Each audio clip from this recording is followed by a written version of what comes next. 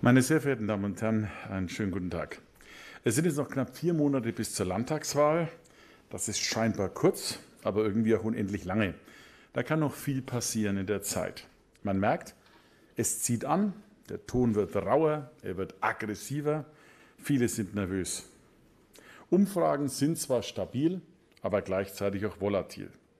Und während andere kreischen und brüllen, wenn ich die letzten Sitzungen im Landtag sehe, machen wir es anders.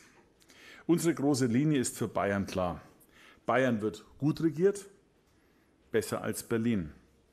Und die CSU insbesondere ist die Stimme Bayerns, die Vertretung Bayerns in Deutschland, aber eben auch in Europa. Wir haben heute unser Programm entwickelt. Da ist alles drin, was Bayern braucht. Dies ist ein Programm der Praxis, nicht der Theorie. Das ist ein Programm, das sich sehr stark an den Menschen orientiert. Was brauchen die Menschen? Es ist ein Programm näher am Menschen. Für uns ist wichtig, dass es der Plan für Bayern ist, der das bestätigt, was bislang ist, dass man nämlich in Bayern gut lebt. Es lebt sich in Bayern besser als woanders. Und das ist kein Zufall. Das ist das Ergebnis harter Arbeit. Unsere Philosophie ist, wir wollen zeigen, dass wir Versprechen fast alle gehalten haben oder in der Umsetzung sind, dass der Kurs stimmt und dass wir diesen Kurs auch vertiefen wollen und ausbauen wollen für das, was für die Menschen relevant ist. Wir machen keine leeren Versprechen, wir machen keine Ankündigungen, denn wir regieren. Wir machen keine unsoliden Milliardenausgaben. Das, was wir darin vorschreiben, ist eh teuer genug. Unser Ziel ist, gut regieren, um eine gute Grundlage für ein gutes Leben in Bayern zu schaffen. Fakt ist, Bayern Bilanz und Bayern Gefühl passen wie kaum an ein Bundesland. Wir liegen in allen Tabellen fast vorne in Deutschland. Die Zufriedenheit mit der Staatsregierung ist höher als beispielsweise die Zufriedenheit mit der Bundesregierung. Und die Menschen leben einfach gern in Bayern. Sie sind einfach gern bei uns in Bayern. Ob es äh, Einheimische sind oder viele, die auch neu zu uns kommen. Die Menschen leben gern in Bayern. Wir haben Bayern durch die eine schwere Krise gut geführt und bin überzeugt, dass wir auch durch die nächste sie führen können. Es besteht viel, viel, viel Hoffnung, dass wir das schaffen können. Wir müssen nur die Weichen rechtzeitig stellen und ohne Ideologie die Menschen mitnehmen. Für Bayern gilt, und das ist der Kernbereich, auf die CSU kommt es an. Wir sind Mitte und Zentrum der bayerischen Politik. Am Ende sichert nur die CSU die besondere Rolle Bayerns und sorgt für Stabilität in unserem Land. Unser Land ist in guter Hand, so empfinden wir das. Die Ampel ist ideologisch unzerstritten und wir in Bayern sind pragmatisch und bodenständig. Weil die Grünen ihre Ideologie gefangen sind. Die Grünen hängen deswegen so in der Luft, weil sie ständig ihre ideologischen Pläne der praktischen Realität anpassen müssen und deswegen auch ständig etwas ändern müssen. Weil die Weltanschauung der Grünen aber nicht zu uns passt, bleiben wir auch zu dem klaren Statement, kein Schwarz-Grün, keine Grünen in der bayerischen Staatsregierung. Wir sind die liberal, freiheitlich, konservativ, soziale, bürgerliche Kraft. Wir sind für die Mitte da. Insbesondere für Normalverdiener, für Rentner, für junge Familien, für Handwerk, Landwirtschaft und Mittelstand. Unser Ziel ist, dass Normalverdiener sich zukünftig auch noch ein gutes Leben leisten können. Die einen diskutieren über Superreiche, die anderen über die Ärmsten der Gesellschaft. Beides mag wichtig sein und ist wichtig, aber wir setzen auf die Mitte der Gesellschaft, auf die, die hart arbeiten, sich engagieren und die schauen müssen, dass sie über die Runden kommen bei steigender Inflation und steigenden Energiepreisen. Und wichtig, wir sind vielleicht die einzige Partei, die ein Angebot für das ganze Land macht. Wir spalten nicht. Wir setzen nicht nur einseitig auf die Städte, wir sind aber auch nicht gegen die Städte, wie manche andere so argumentieren. Stadt und Land, Hand in Hand. Meine Aufgabe als Ministerpräsident ist es auch, das Land zusammenzuhalten und die Demokratie in dieser wackeligen und nervös aufgeregten Zeit. Ich bin weder ein Gaudibusch noch ein Marktschreier, sondern ich will alle dabei haben. Die CSU, um es als Symbol zu nennen, wir strecken die Hand aus. Wir zeigen nicht die Faust. Wir zeigen weder den Stinke noch den belehrenden Zeigefinger. Wir reichen die Hand für ein gutes und starkes Bayern. Gegen linke Ideologie und gegen rechte Randale. Daher war ich auch in Erding was heute vom Parteivorstand äh, groß und maximal, kann man glaube ich sagen, begrüßt wurde, aber auch mit einer klaren Abgrenzung zur AfD. Wir wollen es auch jedem erzählen. Die AfD ist nicht nur einfach Protest. Die AfD hat einen Plan. Und zwar einen Plan für ein anderes Deutschland. Herr Höcke hat es wieder mal bewiesen, jetzt zu den Gedenktagen zum 17. Juni. Er sagte, Deutschland sei kein Rechtsstaat, sondern ein Gesinnungsstaat. Und wie so oft, Deutschland sei keine Demokratie mehr. Dies sind Mustersprech aus alten, schlimmen Zeiten von Deutschland.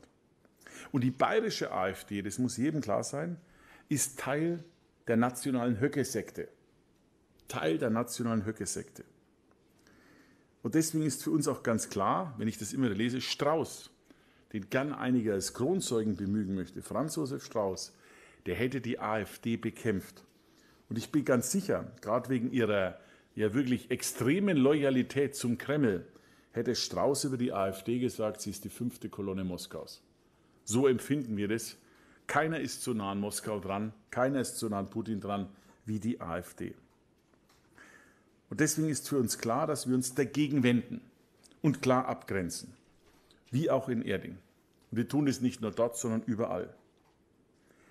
Man darf nicht wegen jeder schnellen Stimme den politischen Anstand verlieren. Wir sind für normale Bürger da. Wir verstehen die Sorgen und da setzen wir uns ein und wir gehen auch hin mit Mut statt Wut. Das ist ganz entscheidend. Mit Mut statt Wut. Wichtig ist, sich nicht anzubiedern, denn wer kopiert, der verliert. Das Original ist in seiner Wucht dann immer stärker. Unser Ziel ist, die Bayern-Koalition fortzusetzen. Mit unseren Freunden und Partnern, den Freien Wählern. Aber die Freien Wähler sind eine eigenständige Partei. Wenn die Freien Wähler den Platz der Mitte verändern wollen, wenn sie sich in eine neue Richtung aufmachen, dann ist es ihre Entscheidung wir bleiben bei unserem Kurs als Liberale, als konservative Kraft der bürgerlichen Mitte und laden auch alle ein, uns dabei zu unterstützen, die Mitte zu stärken. Und laden ganz besonders die ein, die sich dann woanders vielleicht nicht mehr wohlfühlen oder nicht mehr so aufgehoben fühlen. Noch zu unserem Programm. Wir setzen da ganz bewusste Schwerpunkte. Die Schwerpunkte noch einmal alles, was Bayern braucht. Das erste ist ganz besonders für Familien und für Soziales, um besser durch diese Zeiten zu kommen. Deswegen bekennen wir uns als einziges Bundesland zum Familiengeld und wollen es sogar stärken für Alleinerziehende. Wir bekennen uns zum Ausbau der Kita-Plätze, um die Vereinbarkeit von Familie und Beruf voranzubringen. Unser Ziel werden 200.000 Kita- und Betreuungsplätze bis 2028 sein. 8.000 Stellen in der Schule, A13 und Tablets für alle Schülerinnen und Schüler. Wir werden Pflegeplätze verdoppeln. Und dies ist nichts Langweiliges, sondern elementar wichtig für die Menschen. Wir werden das Pflegegeld erhalten. Wir stocken die Krankenhausförderung nochmal deutlich auf in den nächsten fünf Jahren mit einer Krankenhausmilliarde und lehnen eine Zweiklassengesellschaft für Medizin zwischen Stadt und Land ab. Das ist uns ganz, ganz besonders wichtig, das zu unterstreichen. Wir wollen ein sicheres Land bleiben, deswegen wird die Polizei weiter verstärkt. 1000 neue Polizisten, insbesondere für die Infektionen und für den Dienst draußen bei den Bürgern. Unsere Straßen sollen weiter die sichersten in Deutschland bleiben, gegen alle, auch gegenüber Clans. Wir werden die Grenzpolizei ausbauen, empfehlen sie in ganz Deutschland einzuführen, weil die Grenzpolizei ein überragender Erfolg ist. Wenn ich sehe, welche Fahndungserfolge gemacht wurden, hat die bayerische Grenzpolizei Bayern deutlich besser und deutlich sicherer gemacht. Und wir sind auch mit unseren Polizeigesetzen vor allen Gerichten jetzt nochmal eindrücklich bestätigt worden. Wir helfen der Zuwanderung und wir wollen aber Zuwanderung sinnvoll steuern und sind gegen eine unkontrollierte Zuwanderung zu uns. Wir stärken Wirtschaft und Klima, indem wir die erneuerbaren Energien, lieber Martin, verdoppeln wir liegen da jetzt schon sehr, sehr gut, viel besser, als wir noch vor Monaten gedacht haben. Wir lehnen das ideologische Heizgesetz in seiner Ursprungsform ab. Wir haben Vorschläge gemacht. Wir wissen übrigens noch nicht, was jetzt wirklich dabei rauskommt. Ja noch relativ offen dabei. Wir setzen weiter auf Kernenergie zur Überbrückung der schwierigen Zeit und auf den Rohstoff Holz und pflanzen Bäume und schützen unser Wasser. Wir sind für Mittelstand da. Unser ganz großes Ziel ist, das Handwerk weiter zu stärken. Noch keine Staatsregierung wahrscheinlich und keine andere Landesregierung hat so viel dafür getan. Wir sind nicht nur das erste und einzige Bundesland mit einem Familiengeld. Wir sind nicht nur das erste und einzige Bundesland mit einem Pflegegeld, gibt es nur bei uns. Wir sind auch das erste und einzige Bundesland mit, einem, äh, mit einer Meisterprüfung, äh, die dann bezahlt wird, und zwar so, dass sie kostenfrei ist. Die kostenfreie Meisterausbildung ist ein Alleinstellungsmerkmal im Handwerk in ganz Deutschland, übrigens auch der Tag des Handwerks. Gleiches unterstützen wir mit der Landwirtschaft, weniger Bürokratie. Wir wollen, dass im Landwirtschaftsministerium alle Kontrollen verdichtet werden, die jetzt noch zwischen den Ministerien hin und her gehen, um das aus einer praxisvernünftigen Sicht zu machen. Weniger Kontrollen, mehr Vertrauen, mehr Regionalität, ähm, äh, niedrigere Mehrwertsteuer auch an der Stelle für die ähm, Lebensmittel und ganz wichtig auch praxisnahe Lösungen für Themen wie Düngeverordnung und viele andere landwirtschaftliche Themen. Die Infrastruktur bleibt eine große Herausforderung, wie überall in Deutschland. Deswegen ist es wichtig, den Wohnungsbau zu verstärken, dabei vor allem auch das Eigentum zu stärken. Wir wissen, dass wir da noch nicht beim Wohnungsbau in den Ballungsräumen am Ziel sind, wie keiner übrigens in Deutschland. Trotzdem geben wir da nicht auf, drücken es weg, sondern verstärken das. Wollen das Eigentum stärken, und zwar ganz massiv, mit ähm, den Unterstützungen, mit Darlehen, mit äh, Bürgschaften und auch mit einer niedrigen, mit der niedrigsten Grunderwerbsteuer, die es in ganz Deutschland gibt beim Erwerb. Und ja, die Klage zur Erbschaftssteuer ist wichtig. Ich habe gelesen, dass manche meinen, es gegen Steuermilliardäre wie immer null Ahnung und ideologisch geprägt. Wir wollen das Elternhaus, den Familienbesitz schützen, der in Bayern wichtig ist. Die Eigentumsquote ist in Bayern höher als woanders. Und wenn Generationen ein Elternhaus haben oder einen Hof oder einen Betrieb, dann kann es am Ende nicht so sein wegen den hohen Preisen in Bayern, dass wir unsere Häuser verkaufen müssen, nur um äh, die Erbschaftssteuer zu bezahlen. Das ist das Motto. Und auf den Bund sagen wir auch ganz klar, das ist der kleinste Teil, das ist alles Bayern pur. Wir sagen, wir wollen keine Steuererhöhungen haben, weder für die Gastronomie. Wir wollen Senkungen haben bei der Mehrwertsteuer, Senkungen vor allem auch der Stromsteuer, um Industrie, Handwerk und die Bürger zu entlasten. Wir lehnen ein erhöhtes Renteneintrittsalter ab, wollen dafür lieber die komplette Finanzierung der Mütterrente und natürlich meine sehr verehrten Damen und Herren, die Klage für den Länderfinanzausgleich gleich wird auch noch jetzt vor der Sommerpause eingereicht werden. Das sind einige der Kernpunkte, würde ich sagen. All das, was wir da ansprechen, dient der Verbesserung der Lebensqualität in Bayern. Wir machen kein Programm für Politologen, so wichtig sie sind. Wir machen kein Programm für die Theorie. Wir machen ein ganz praktisches, bodenständiges Regierungsprogramm, um in Bayern gut leben zu können weil wir den Leuten nichts vorschreiben, wie sie zu leben haben, aber wir bieten ihnen die Möglichkeit, so frei und selbstbestimmt zu leben und alle dabei mitzunehmen. Wichtig ist, wir empfinden uns als das bayerische Original, wenn es um die Stimme in Deutschland geht. Die Wahrheit ist, die größten Teile der Opposition tun sich schwer, sich abzunabeln von Berlin und eine eigene bayerische Identität zu entwickeln. Und unser Koalitionspartner ist engagiert bei den Themen, aber letztlich ohne größere Wirkung. Weil wir die Stimme des Südens sind in Deutschland, ist es auch so, dass man uns ja gerne mundtot machen möchte oder zumindest reduzieren wollte. Deswegen ist das Thema Wahlrecht ein wichtiger Punkt für uns alle. Wir haben jetzt unser Programm auf den Weg gebracht. Wir werden sicherlich auch noch Kurzfassungen dann entsprechend machen in den nächsten Wochen. Wir sind viel unterwegs. Wir haben auch viele Gäste. Wir stimmen uns ab.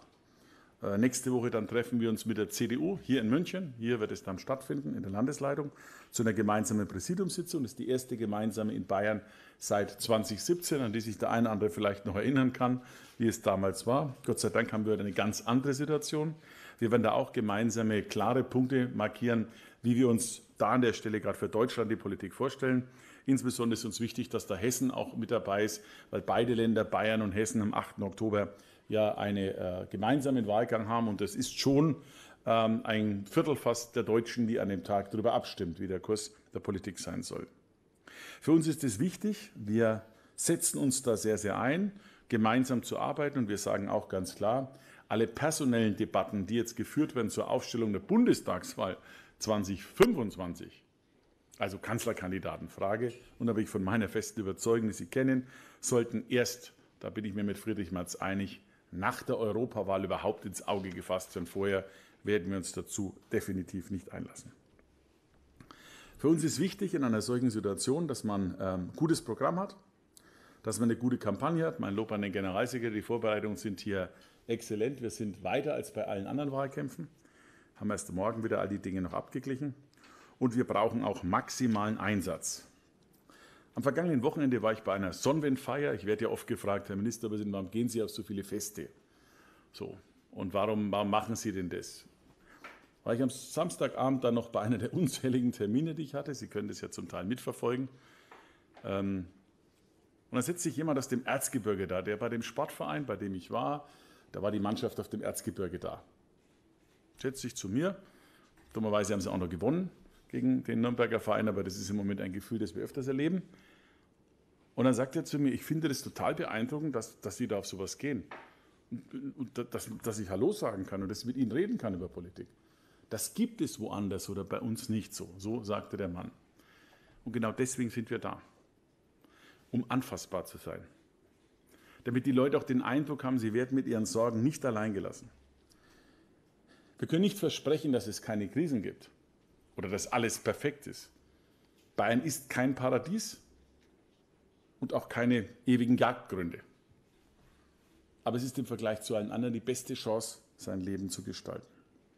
Ich selbst bin jetzt seit Januar, wir haben das mal ausgerechnet in meinem Büro, seit Januar waren es bislang 350 Termine mit Außenkontakten, haben rund 375.000 Menschen mehr oder weniger direkt erreicht.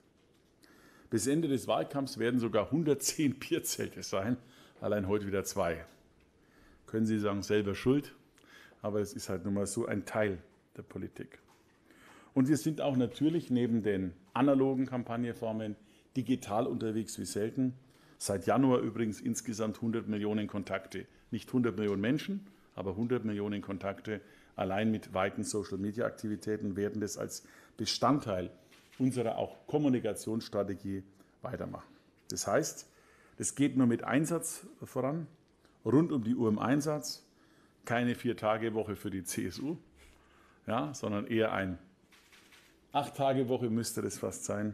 Das wird jetzt ein Marathon im Sprint. Anders kann man es gar nicht sagen. Es geht halt einfach um Bayern.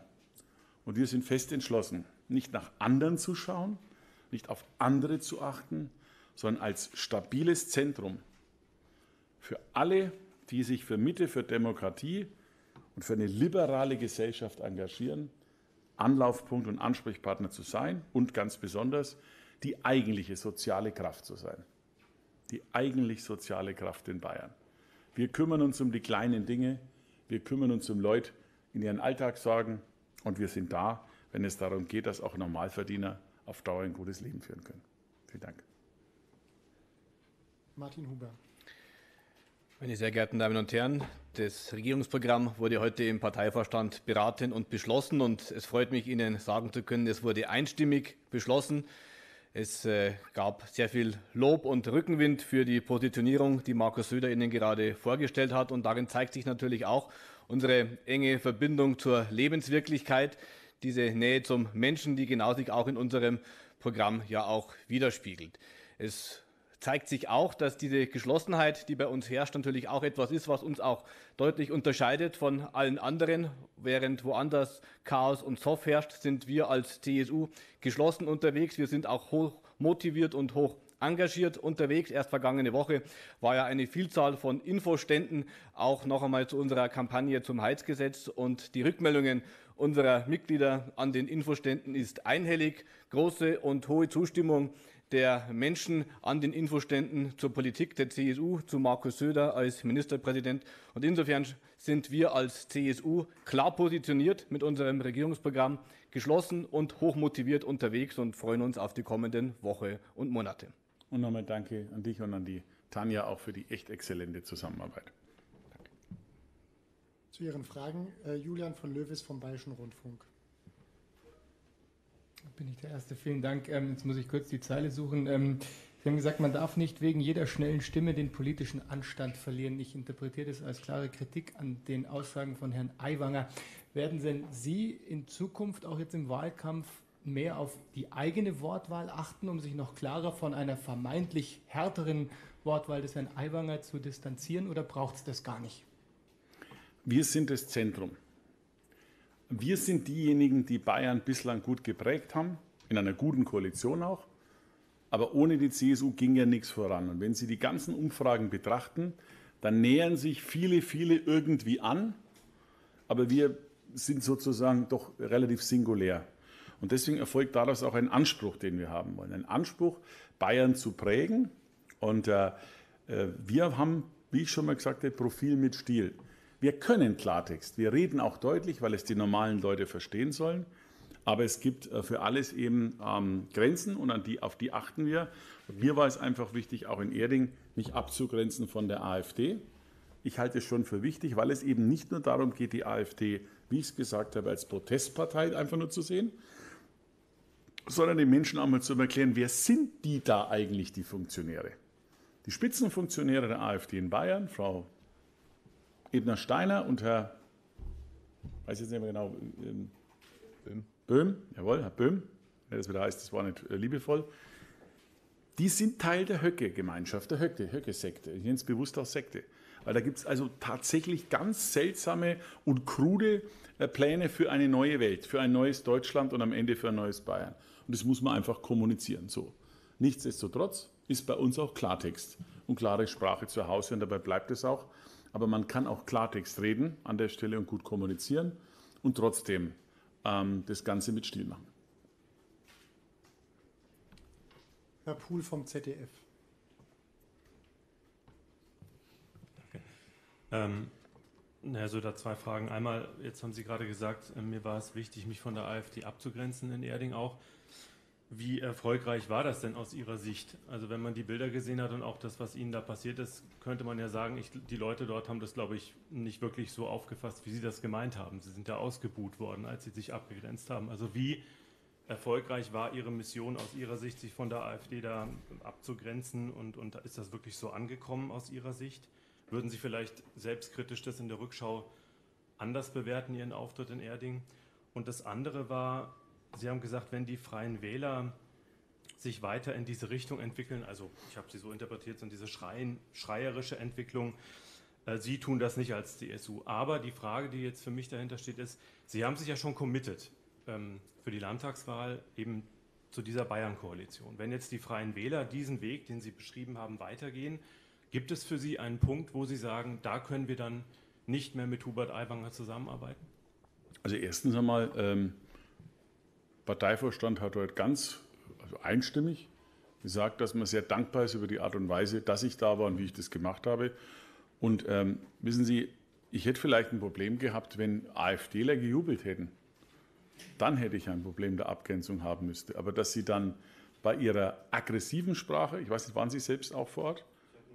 Hm, okay, dann wenn hätten Sie, wenn Sie bei manchen Worten, die Sie da gehört hätten, ist da so viel, hätten Sie ähm, geschluckt. Einfach geschluckt. Da gab es auch, äh, auch die gesamte Gruppe der Corona-Leugner waren da und auch viele Impfgegner. Also das war schon, war schon tough. Jetzt ist die Frage, weichen oder Klartext reden? Ich habe mich klar entschieden dafür, als Demokrat der Mitte klar zu sagen, was ich zu sagen habe. Es gab auch sehr, sehr viel Beifall. Ich gesagt, wenn man nicht da war, ist das schwer zu ermitteln, das ist kein Vorwurf. Ähm, wenn man hinterher das bewertet, aber da war es so, dass es dann am Ende den großen Beifall gab. Nicht von dieser Hardcore-Gruppe, aber die muss halt damit leben, das war Klartext formuliert. Demokraten, die äh, vor Störern weichen, äh, verlieren letztlich ihre Stärke. So, deswegen glaube ich, war das eindeutig. Und zum Zweiten zu dem Thema ist letzte Woche alles gesagt worden, auch von den Freien Wählern selber. Wir äh, wollen die Bayern-Koalition fortsetzen, wenn die ähm, äh, Freien Wähler als eigenständige Partei ihren Kurs neu definieren. Das muss ja die Partei auch überlegen. Ähm, kann auch sein, dass es sehr viele Leute gibt bei den Freien Wählern, Wählerinnen und Wähler, der Mitte, die sagen, vielleicht interessiere ich mich jetzt doch mehr für die CSU. Das werden wir sehen im Laufe des Wahlkampfs. Nächste Frage hatte Eva Eichmann vom hat sich erledigt. Dann Uli Bachmeier, Augsburger Allgemeine. Äh, Herr Söder, wenn ich Sie richtig verstehe, die Positionen äh, sind klar. Sie sagen, Sie reden Klartext. Haben Sie denn auch mit Hubert Aiwanger Klartext gesprochen? Wir bekommen da unterschiedliche Signale, wie das im Kabinett äh, denn gelaufen ist und ob am Ende eine wie auch immer geartete Vereinbarung äh, gestanden hat, wie man jetzt gemeinsam weitermacht. Über Kabinettsinterna sprechen wir nicht. Das ist ein guter Stil, finde ich. Das machen vielleicht andere, aber wir nicht. Ähm, wir haben das alles intensiv besprochen und soweit ich gelesen habe, gab es ja Signale auch der Freien Wählerpartei danach, wie man damit umgehen will. Und äh, davon gehen wir jetzt auch aus. Es wurde angesprochen und alles wurde aus meiner Sicht abschließend und ausreichend erörtert. Stefan Mack von Antenne Bayern. Danke. Ich wollte fragen, ob es denn jetzt im Vergleich zum Entwurf vom Freitag noch größere Änderungen gab, Präzisierungen äh, vielleicht, oder ist dieser Entwurf so beschlossen worden? Ja, es hat noch einige Änderungen gegeben, vielleicht sagst du das. Übrigens noch was anderes. Es kommt in Bayern im Wesentlichen auf das an, was die CSU macht, nicht was andere tun. Alles andere ist interessant, aber die Kernvorgabe, in welche Richtung die bayerische Politik läuft, ist bei uns. Das sind wir. Wenn wir schwächeln, wenn wir schwanken, dann ist es für Bayern schwieriger. Und deswegen ist die Kernfrage zu beschäftigen, was ist unser Kost? Das tun Sie auch, vielen Dank dafür. Ähm, das andere ist auch wichtig, aber die Kernfrage ist einfach, wie ist die Rolle und wie ist die Wahrnehmung? Und das sehen Sie auch national. Am Endeffekt bewegen kann man der Politik im Endeffekt vor allem mit uns was.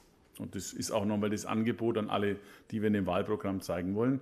Und es hat ein paar Änderungen jetzt noch gegeben, der Generalsekretär. Es waren äh, redaktionelle Änderungen, noch einmal Ergänzungen, äh, Umformulierungen, aber jetzt nichts, was äh, die Kernbotschaften oder den Inhalt in irgendeiner Art und Weise noch einmal verändert hätte. Der Entwurf wurde einstimmig beschlossen. Die redaktionellen Änderungen, die im Vorfeld und auch heute diskutiert wurden, arbeiten wir ein, sodass dann jetzt auch demnächst die endgültige Fassung zur Verfügung steht. David Brill von Sat1 Bayern. Eine Frage, die sich noch an die Frage des Kollegen anschließt zum Wahlkampf und zum Umgang mit den Freien Wählern. Sie hatten sich ja committed eben auf diese Bayern-Koalition und man hatte in den letzten Monaten jetzt nicht den Eindruck, dass es da einen größeren Wahlkampf auch mit den Freien Wählern gibt. Ist sie, äh, wie ist da jetzt Ihre Taktik? Hat sich das geändert? Wird es auch einen stärkeren Wahlkampf nochmal gegen die Freien Wähler geben? Was ist da Ihr Plan? Wir machen nur Wahlkampf für uns und nicht gegen jeden. Wir glauben, dass beide Stimmen gut bei der CSU aufgehoben sind sowohl mit einem hervorragenden Angebot der äh, Direktkandidaten. Schauen Sie sich die Regierungsbezirke an. Äh, in allen Regierungsbezirken bieten wir starke Kabinettsmitglieder. Mit Ilse Aigner und vielen Oberbayern in, äh, Ministern in Oberbayern und München. Allein zwei Minister für München. Äh, mit Christian Bernbreiter in Niederbayern. Mit dem echten Schwergewicht ähm, Albert Füracker in der Oberpfalz. Mit Melanie Hummel und ähm, Judith Gerlach in Oberfranken und Unterfranken. Joachim Herrmann und mir in Mittelfranken ja, und in Schwaben mit Klaus Solicek. Schauen Sie mal, wer woanders kandidiert von den anderen Parteien. Einfach mal gucken, ob Sie die jeweiligen Listenführer jetzt alle total präsent haben. Sie wahrscheinlich schon, aber ob Sie die so präsent haben. Also, das heißt, wir machen für uns Wahlkampf. Und zwar für Bayern. Wir versuchen nicht anderen was wegzunehmen, aber wir sind eine eigenständige Partei. Das war schon immer so. Es gibt auch keine Koalitionswahlkämpfe. Natürlich ist man auch Wettbewerber vor Ort.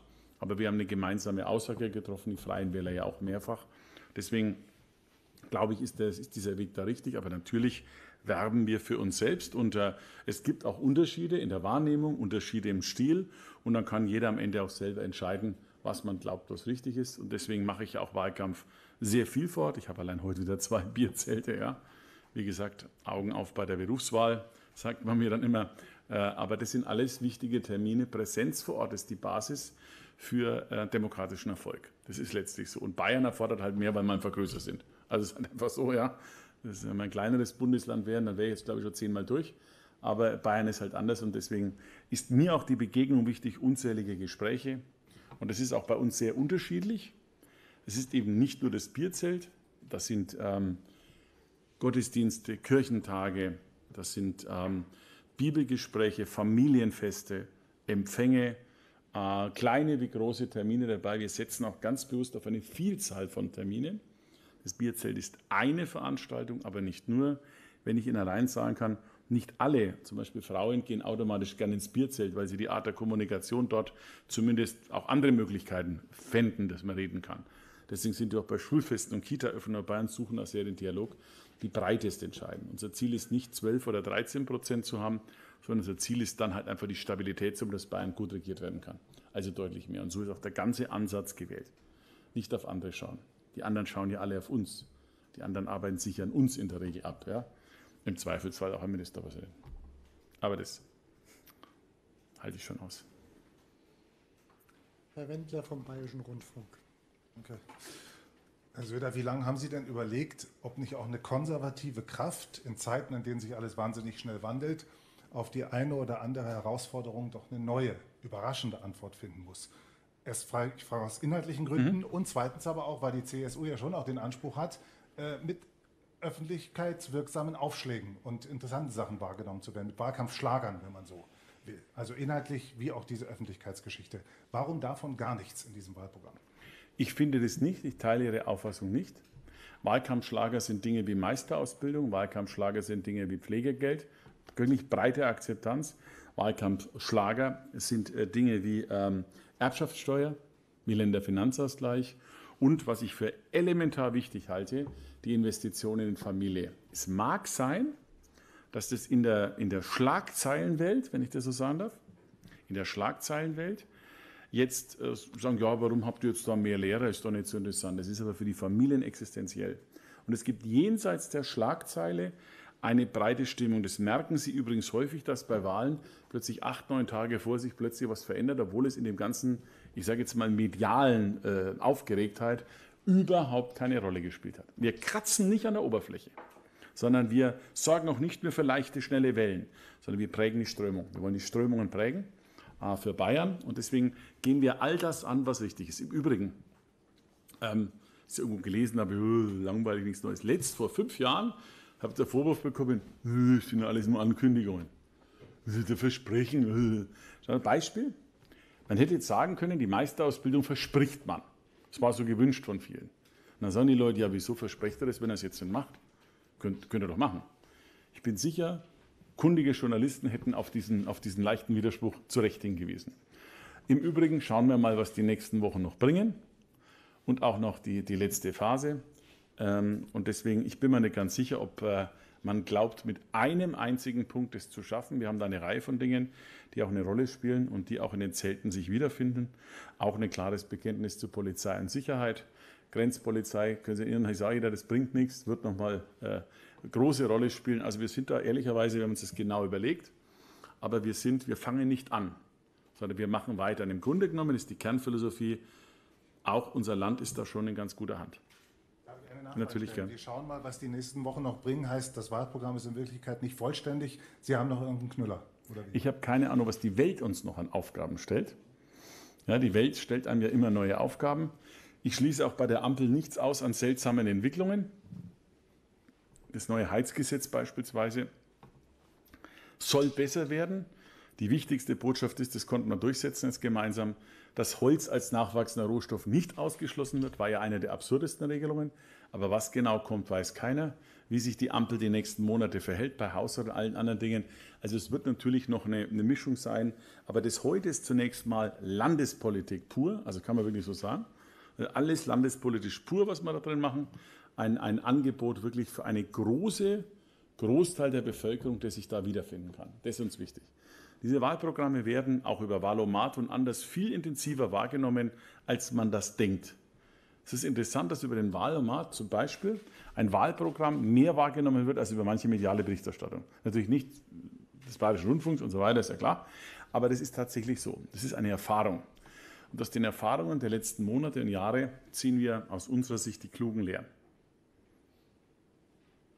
Letzte Frage dann Herr Hinterberger von Kontrovers. Herr Söder, am Wochenende hatte Ihre Schwesterpartei in äh, Berlin Diskussionen geführt. Ähm, da ging es auch um Stilfragen, um äh, Kursfragen. Herr Merz sagt das eine, Herr Günther eher etwas anderes. Ähm, Gibt es diese Diskussion, nehmen Sie das wahr, auch in der CSU bei Ihnen? Nein. Nein.